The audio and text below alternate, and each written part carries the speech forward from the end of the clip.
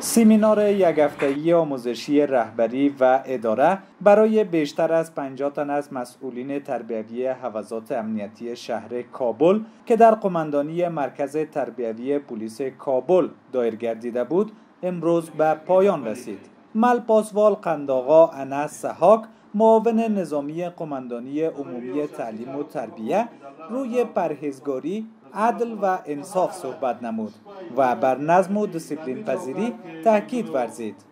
تاسو باید ټول تقوا او پرهیزګاری اختیار کړئ. که ته واقعا غواړې دې ولس ته دې ټولنې ته او خپل قطاعاتو کې نظامی قطاعاتو کې جزو تامونو کې اصلاحات راوړې دا شي ته باید ډېر نظر وکړې. که چېرته تا کې تقوا او پرهیزګاري موجود نه ته هیڅ کله نشي کولی چې تا خبره ته روح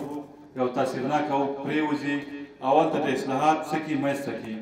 مل پاسوال مولوی عبدالله یاسر قماندان مرکز تربیوی پلیس کابل روی رویه و برخورد نیک پلیس در جامعه سخن گفت و در عملی سازی اندوخته هایشان در ساحه عمل با ایمانداری و صداقت تاکید کرد.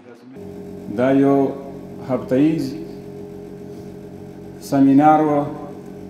مجاهدینو ته پکې د مسلکی استادانو لخوا د سواد اموزي په اهمیت او رهبریت اداره